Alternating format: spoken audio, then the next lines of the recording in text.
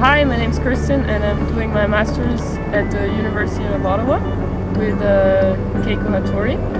And we're collaborating with Stuart Hamilton from the Ontario Geological Survey to um, work on a project on forest rings in Northern Ontario. Forest rings are depressions in tree growth in a circular pattern, only visible from the sky. Little is known about the specific causes of these geographic phenomenon, but Kirsten is looking for the answers. In a few frantic days, we packed up everything we needed for two weeks in the field and pointed the truck north, heading to our home base of Hearst, Ontario. After a long rainy drive, we reached Hearst and began to plan our next weeks in the field.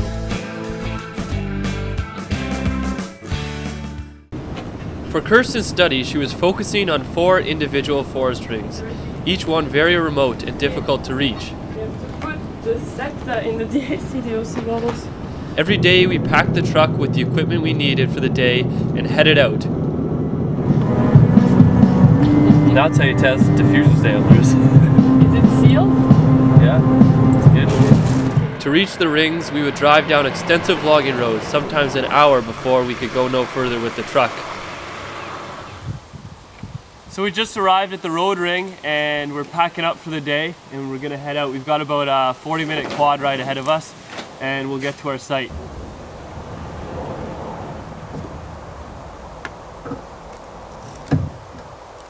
Making sure not to forget anything essential, we would pack up the quads and then head out for the second leg of the trip.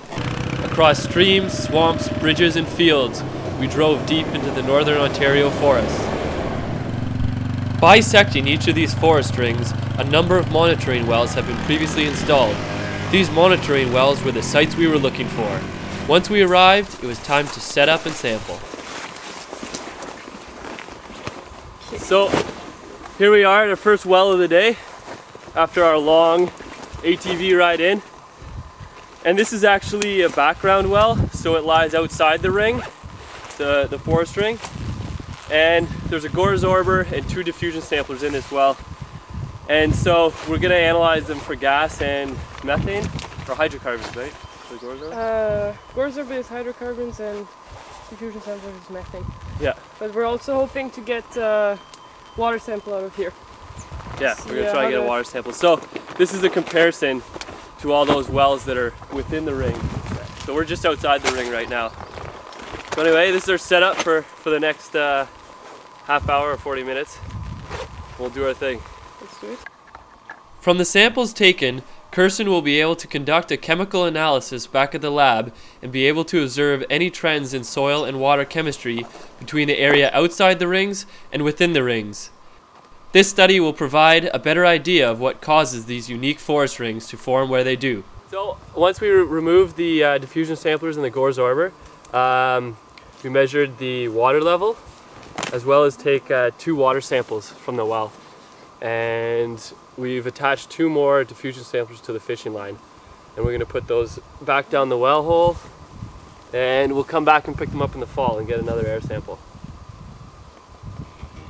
Working with Kirsten on her project was challenging, but also a very fun experience. What do you smell? I smell hydrocarbons. Whoa! There's holes everywhere. You want to hear my wolf call? Oh. yes. Everybody warned me about bears when I came up to Hearst to work with the OGS. But I think it's the wasps that are the bigger problem. I got stung in my hand and now look at it.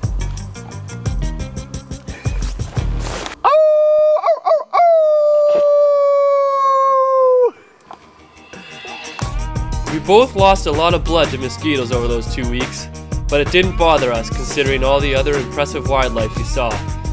It really is quite a unique experience to work in such remote conditions, knowing that you're the only human for miles around.